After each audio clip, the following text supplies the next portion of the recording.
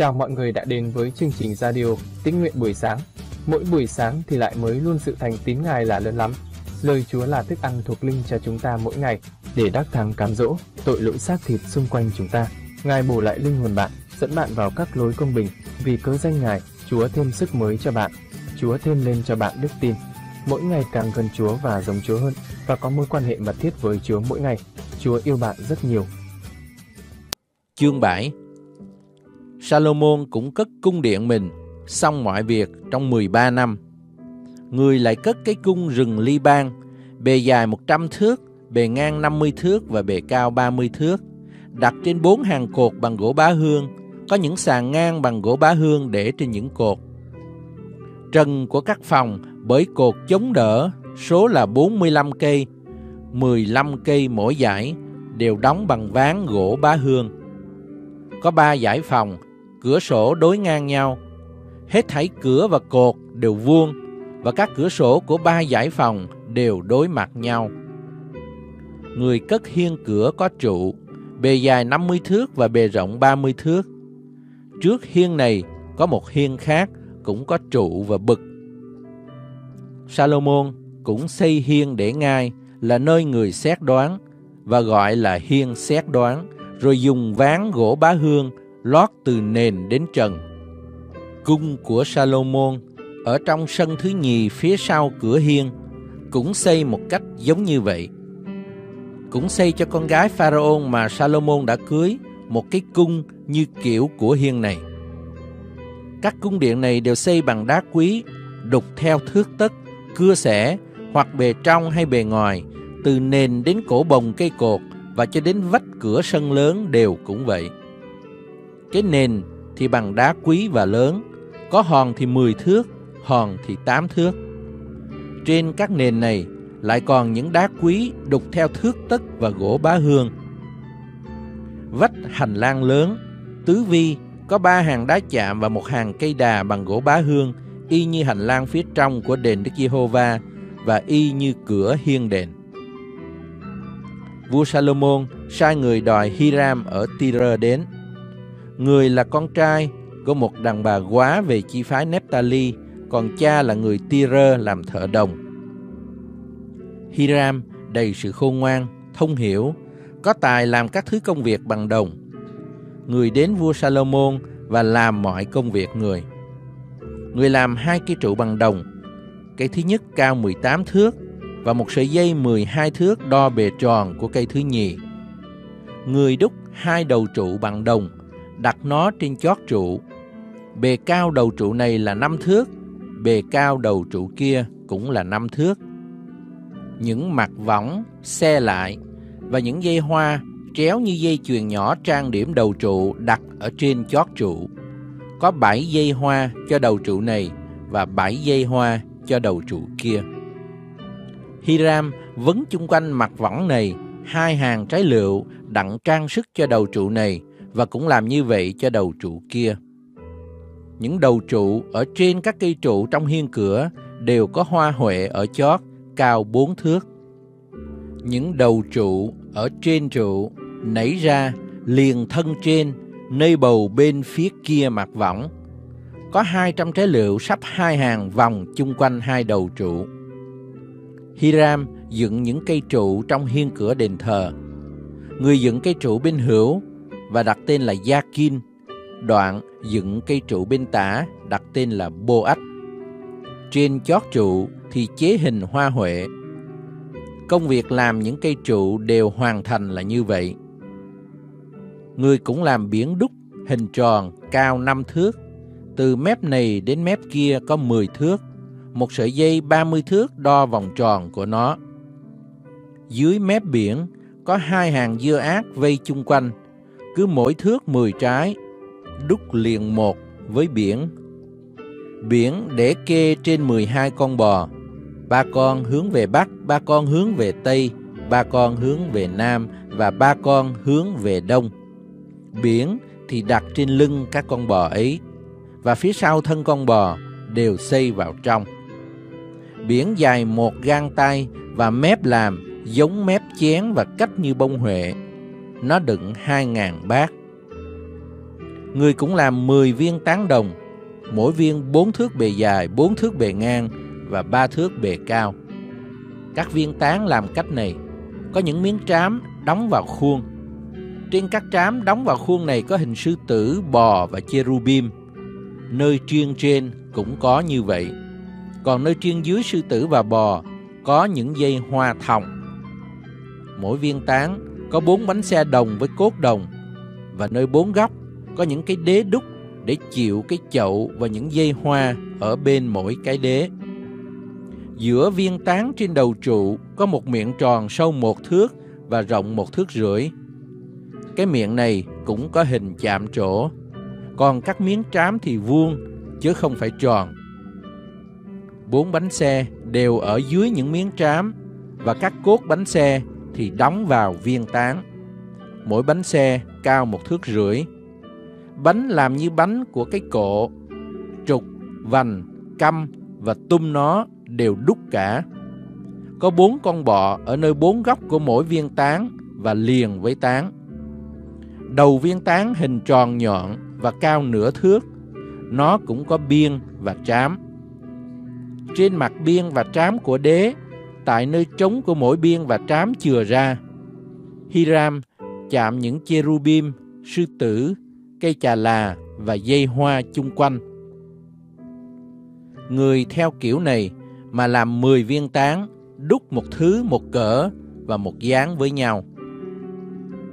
Người cũng làm 10 cái thùng bằng đồng, mỗi cái chứa 40 bát. Mỗi thùng có 4 thước và để trên một tán của 10 cái tán. Người sắp đặt tán như vậy, năm cái về bên hữu đền và năm cái về bên tả.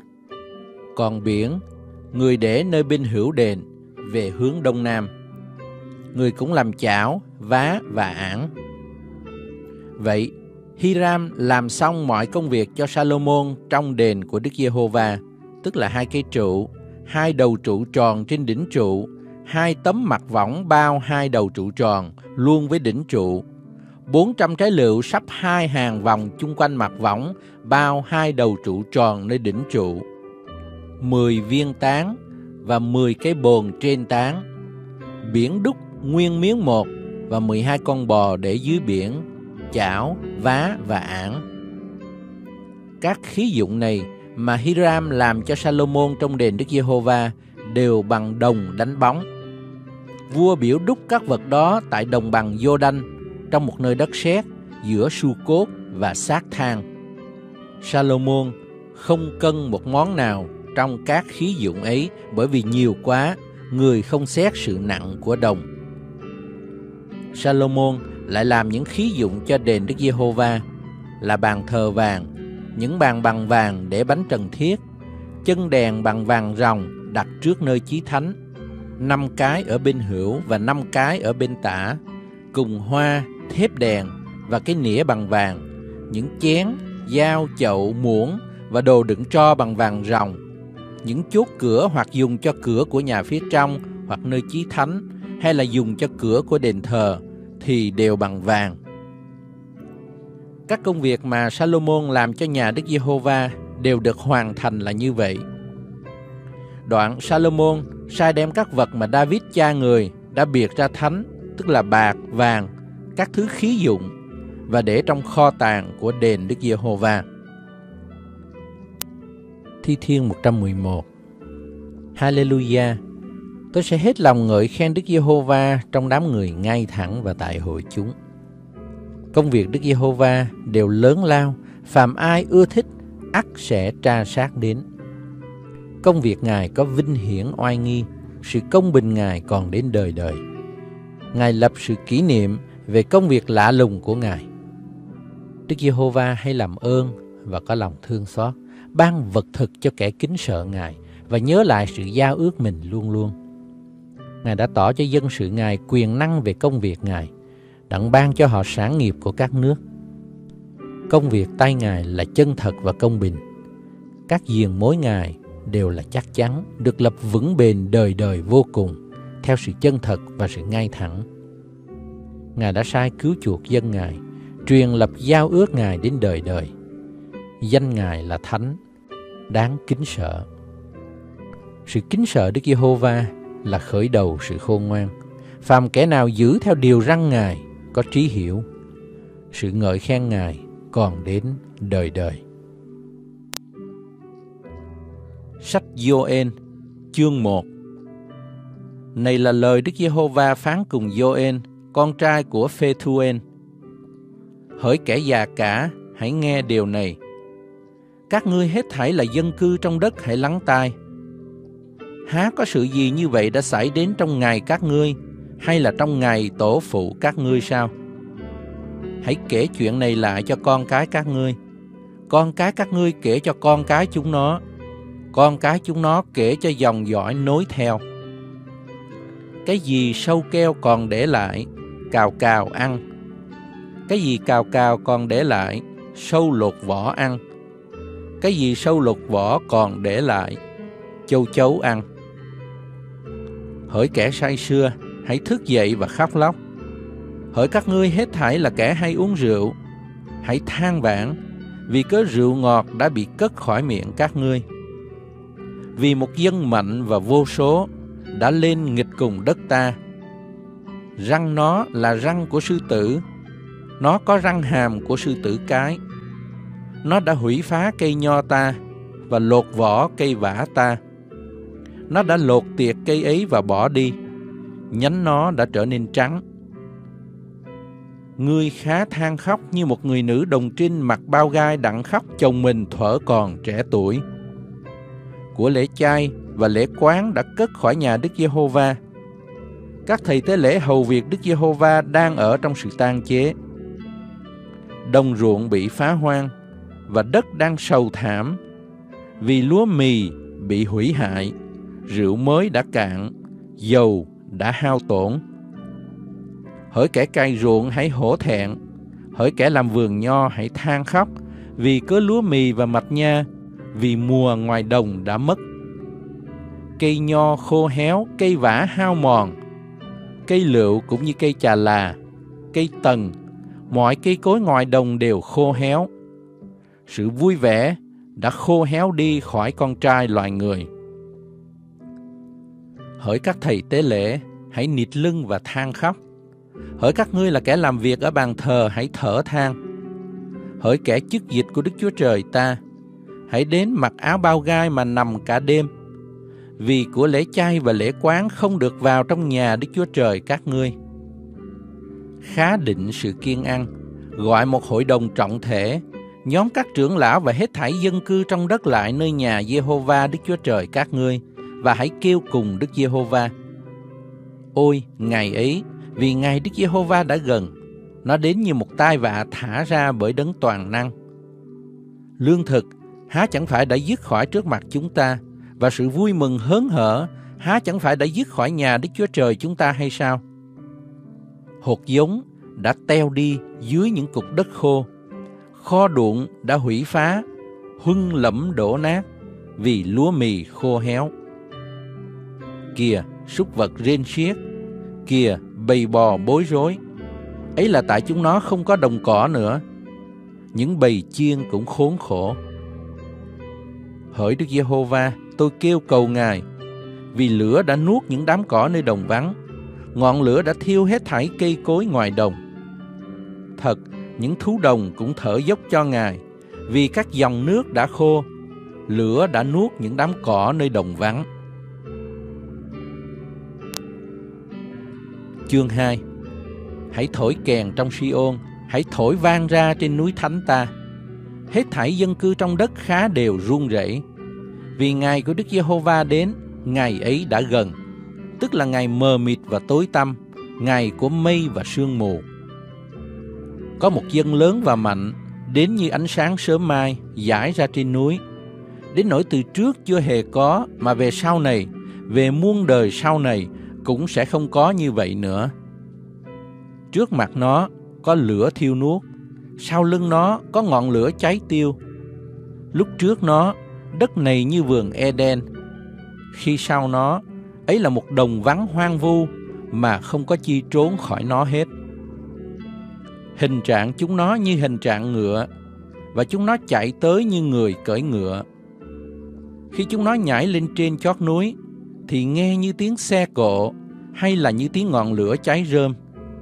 Ấy là như một dân mạnh sắp hàng nơi chiến trận. Khi thấy chúng nó, các dân đều rầu rĩ, hết thảy đều sợ tái mặt.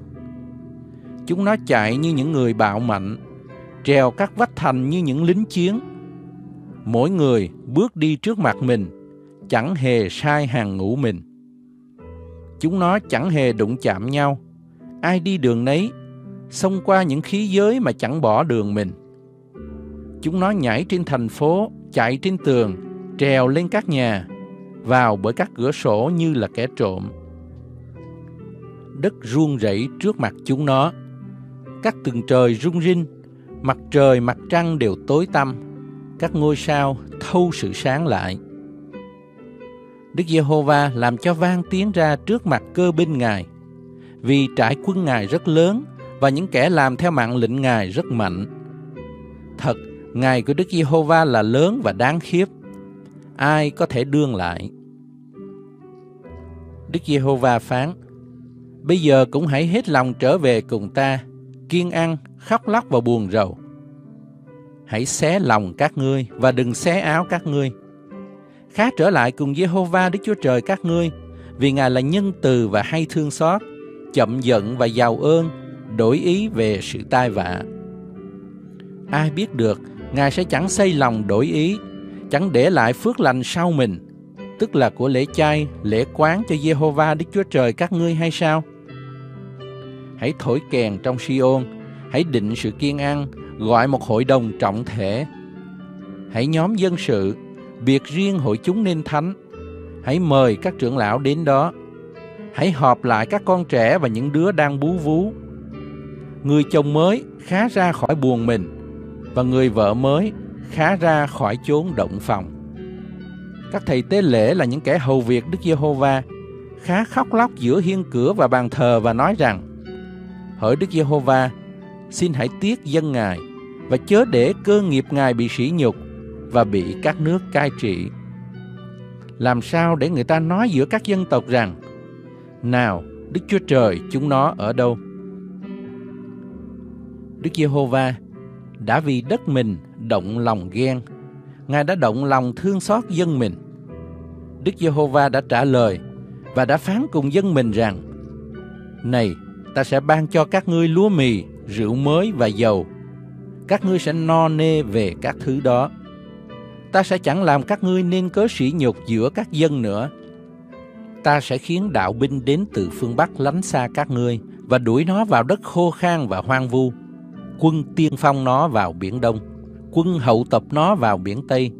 Mùi hôi nó bay lên, mùi tanh nó dậy lên vì nó đã làm những việc lớn. Hỡi đất chớ sợ chi, hãy nức lòng vui vẻ và mừng rỡ vì Đức Giê-hô-va đã làm những việc lớn. Hỡi các loài thú đồng đừng sợ, vì những đám cỏ nơi đồng vắng nứt đọt, cây ra trái, cây vả và cây nho đều ra sức nó. Hỡi con cái Siôn, các ngươi hãy nức lòng vui vẻ và mừng rỡ trong Giê-hô-va Đức Chúa Trời các ngươi, vì Ngài ban mưa phải thời cho các ngươi về mùa đầu và xuống mưa dồi dào về mùa đầu và mùa cuối cho các ngươi nơi tháng đầu tiên. Những sân sẽ đầy lúa mì, những thùng tràn rượu mới và dầu. Ta sẽ đền bù cho các ngươi về mấy năm đã bị cắn phá bởi cào cào, sâu lột vỏ, sâu keo và châu chấu, là đạo binh lớn mà ta đã sai đến giữa các ngươi. Các ngươi sẽ đủ ăn và được no nê. Các ngươi sẽ ngợi khen danh Giê-hô-va Đức Chúa Trời mình, là đấng đã xử với các ngươi cách lạ lùng. Rồi dân ta sẽ không hề bị xấu hổ nữa. Các ngươi sẽ biết rằng ta ở giữa Israel, biết rằng ta là Jehovah Đức Chúa Trời các ngươi và chẳng có ai khác. Dân ta sẽ không hề bị xấu hổ nữa. Sau đó, ta sẽ đổ thần ta trên cả loài xác thịt. Con trai và con gái các ngươi sẽ nói tiên tri. Những người già cả các ngươi sẽ thấy chim bao. Những kẻ trai trẻ các ngươi sẽ xem sự hiện thấy. Trong những ngày đó, dầu những đầy tớ trai và đầy tớ gái, ta cũng đổ thần ta lên. Ta sẽ tỏ những sự lạ ra trong các tầng trời và trên đất, tức là máu, lửa và những trụ khói. Mặt trời sẽ đổi ra tối tăm, mặt trăng ra máu, trước khi ngày lớn và kinh khiếp của Đức Giê-hô-va chưa đến. Bây giờ, ai cầu khẩn danh Đức Giê-hô-va thì sẽ được cứu. Vì theo lời Đức Giê-hô-va, thì ở trên núi Si-ôn và trong Jerusalem sẽ có những người trốn khỏi, và trong những người còn sống sót sẽ có kẻ mà Đức Giê-hô-va kêu gọi. Chương 3 Vì này, trong những ngày đó và trong kỳ đó, khi ta sẽ đem phu tù của Juda và Jerusalem trở về, thì ta sẽ nhóm hết thảy các nước lại và đem chúng nó xuống trong trũng Josaphat. Tại đó, ta sẽ phán xét chúng nó vì cớ dân ta và Israel là sản nghiệp ta, mà chúng nó đã làm cho tan tác giữa các dân tộc, và chúng nó đã chia đất ta ra và bắt thăm về dân ta, đã đổi con trai mà lấy điếm đỉ và bán con gái đặng lấy rượu để uống. Hỡi Tyre và Sidon và hết thảy địa hạt của Philippines, các ngươi có quan hệ gì cùng ta? Các ngươi muốn báo trả cho ta hay sao? Nếu các ngươi báo trả ta, ta sẽ khiến sự báo trả đổ trên đầu các ngươi cách mau kiếp và thình lình. Vì các ngươi đã lấy bạc vàng ta đi, đã đem đồ châu báu rất quý của ta vào trong những đền miếu các ngươi. Các ngươi đã bán con cái của Juda và con cái của Jerusalem cho các con trai gừa rét, đặng làm cho chúng nó lìa khỏi bờ cõi mình. Này, ta sẽ dục chúng nó dấy lên từ nơi mà các ngươi đã bán chúng nó cho, và sẽ khiến sự báo trả các ngươi về trên đầu các ngươi. Ta sẽ bán con trai con gái các ngươi vào tay con cái Juda. Juda sẽ bán chúng nó cho người Sa Bê là dân ở xa cách vì Đức Giê-hô-va đã phán vậy. Hãy rao điều này ra giữa các nước, khá sắm sửa sự đánh giặc, dục lòng những người mạnh bạo dấy lên, hết thảy những lính chiến khá sấn tới và xông vào trận. Hãy lấy lưỡi cài rèn gươm, lấy liềm rèn giáo. Kẻ yếu khá nói rằng, ta là mạnh. Các ngươi hết thảy là những nước xung quanh, hãy vội vàng đến và hãy nhóm lại. Hỡi Đức Giê-hô-va, xin khiến những người mạnh mẽ của Ngài xuống đó. Các nước khá dấy lên, khá lên trong trũng Do-sa-phát, Vì ở đó là nơi ta sẽ ngồi đặng phán xét hết thảy các dân tộc xung quanh. Hãy tra lưỡi hái vì mùa gặt đã chín. Hãy đến, hãy đạp vì bàn ép đã đầy, các thùng đã tràn vì tội ác chúng nó là lớn. Đoàn đông giường nào, đoàn đông giường nào tại trong trũng đoán định. Vì trong trũng đoán định, ngày Đức Giê-hô-va đã gần. Mặt trời và mặt trăng tối tăm, các ngôi sao thâu sự sáng lại. Đức Giê-hô-va gầm thét từ Si-ôn. Ngài làm cho vang tiếng mình ra từ Jerusalem. Các tầng trời và đất đều rúng động. Nhưng Đức Giê-hô-va là nơi ẩn náu cho dân mình, là đồn lũy cho con cái Israel. Như vậy, các ngươi sẽ biết ta là Jehovah Đức Chúa Trời các ngươi, ở tại Sion là núi thánh ta. Bây giờ, Jerusalem sẽ là thánh, và những người ngoại sẽ không đi qua trong đó nữa. Trong ngày đó, các núi nhỏ rượu ngọt ra, sữa chảy ra từ các đồi, hết thảy các khe Juda sẽ có nước chảy. Một cái suối sẽ ra từ nhà Đức Giê-hô-va và tưới trũng Si-tim. Egypto sẽ trở nên hoang vu. Edom thành ra đồng vắng hoang vu vì cớ chúng nó lấy sự bạo ngược đãi con cái Juda và làm đổ máu vô tội ra trong đất mình. Nhưng Juda sẽ còn đời đời, Jerusalem sẽ còn đời này qua đời khác. Ta sẽ làm sạch máu chúng nó mà ta chưa từng làm sạch, vì Đức Giê-hô-va ngự trong Si-ôn. Cảm ơn Chúa lời của Ngài bày tỏ cho con. Thì giờ này chúng ta đến với Chúa trong sự cầu nguyện. Xin Thánh Linh Chúa, hãy bày tỏ cho con biết, Ngài dạy dỗ hay ấn chứng cho con điều gì qua lời của Ngài. Xin lời của Ngài được linh hồn con ăn nuốt vào trong tấm lòng và tâm trí của con mỗi ngày thêm lên lời của Ngài, để linh hồn con được tăng trưởng, thêm lên đức tin đặt để nơi Ngài. Xin Chúa cho con biết về Ngài nhiều hơn và con khát khao mối quan hệ mật thiết với Ngài nhiều hơn. Lạy Chúa con cảm ơn Ngài, mỗi ngày mới ngày ban cho con hơi thở để tiếp tục sống trên đất này. Con nguyện huyết báo của Chúa Giêsu Christ thanh tẩy, tẩy sạch, bôi xóa những suy nghĩ, tư tưởng, hành động trong tâm trí, trong tấm lòng của con như ấy là gian dâm, ô uế, lung tuồng, thờ hình tượng, phù phép, thù oán, tranh đấu, ghen ghét, buồn, giận, cãi lẫy, bất bình, bè đảng, ganh gổ, say xưa, mê ăn uống, cùng các sự khác giống như vậy. Con nguyện xin dòng huyết báo của Ngài tẩy sạch bôi xóa sự xác thịt của con không đẹp lòng Ngài ra khỏi con ngay giờ này. Bây giờ con được thánh sạch đứng trước mặt Ngài. Con nguyện Thánh Linh Đức Chúa Trời đổ đầy, đầy dẫy con Chúa ơi, những bông trái của Thánh Linh, ấy là lòng yêu thương, sự vui mừng, bình an nhịn nhục, nhân từ, hiền lành, trung tín, mềm mại, tiết độ đầy dẫy trên con. Con xin Chúa thêm sức mới, thêm đức tin cho con. Xin Chúa dẫn dắt con để con đắc thắng một ngày mới trong ngày. Con cảm ơn Chúa, con dâng mọi vinh hiển tôn quý lên ba ngôi đức Chúa trời toàn năng và phước hạnh con nhận lãnh từ nơi Ngài. Và con thành kính dâng lên cha lời cầu nguyện trong danh Chúa Giêsu Christ. Amen. Cảm ơn bạn đã nghe chương trình Tĩnh Nguyện Radio buổi sáng. Bạn ủng hộ chương trình bằng cách like, chia sẻ chương trình tĩnh nguyện rộng rãi trên mạng Internet cộng đồng. Cảm ơn bạn. Hẹn bạn tĩnh nguyện tiếp theo. Chúa yêu bạn rất nhiều.